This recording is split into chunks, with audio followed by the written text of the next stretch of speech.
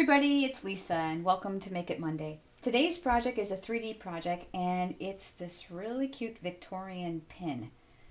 And I'm going to show you how I made it using Stampin' Up! products. The first thing you need is one of our jumbo sticky rounds and these are currently in the holiday catalog.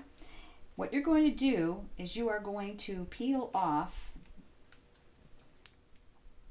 the red square that surrounds the circle. I don't know if you can see it or not on the camera, but there's a circle left that's very sticky. I have cut 17 2-inch pieces of the tulle. Now the tulle comes in several cover, colors. This is the crumb cake. And all I'm going to do is pinch this in the center and kind of twist it like this. And I'm going to start at the outside of this pin by tacking it down. And because this is so sticky, you're not going to have any trouble with it adhering. So I went around and around. It's a very simple project. It takes just a few minutes to make one of these. Okay, so I've done the outside perimeter, and now I'm going to go to the inside. You don't have to fill it completely because we're going to add the um, antique brad. Okay, so now I have filled it all the way around. The next thing you're going to need is a piece of felt, and I just bought this at a craft store. And I use the circles die to cut these out. And it's going to fit perfectly on the back of the, uh, the jumbo rounds. With your paper piercing mat and your piercing tool, we're piercing a hole in the center through the paper.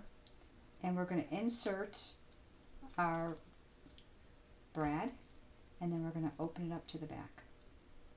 Now, you're going to peel off the paper. And I know it's going to get stuck around the brad, but that's okay. Because once I've got these kind of prongs in place, I can just slide this off. I do recommend opening the prongs before you do this, though. And then the coordinating size of your felts, you can see how sticky this is,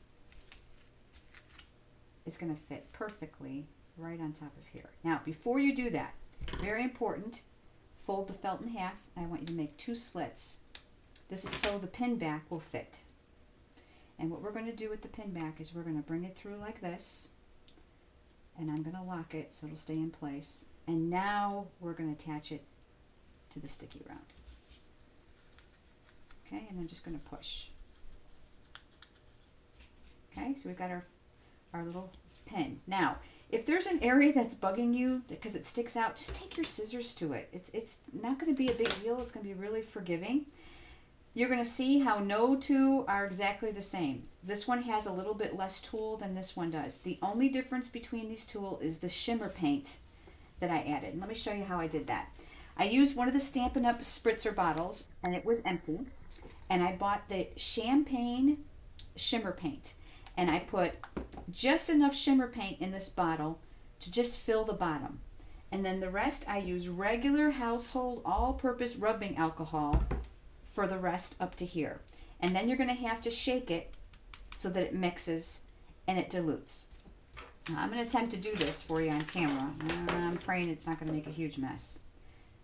I usually do this inside an empty box because it keeps it contained there is a very small hole here, like a perfume bottle. So you're going to want to make sure that that's pointing in the right direction. Otherwise, you're going to have this everywhere. Okay? And I just spritzed. Okay? Uh, I'm a firm believer less is more. And then you're going to give it a few minutes to dry because it's slightly damp because the alcohol. The great thing about the rubbing alcohol is it's going to evaporate right away, so it'll dry very, very quickly. So there we go. We have uh, your vintage pin. I hope to see you next week for Make It Monday.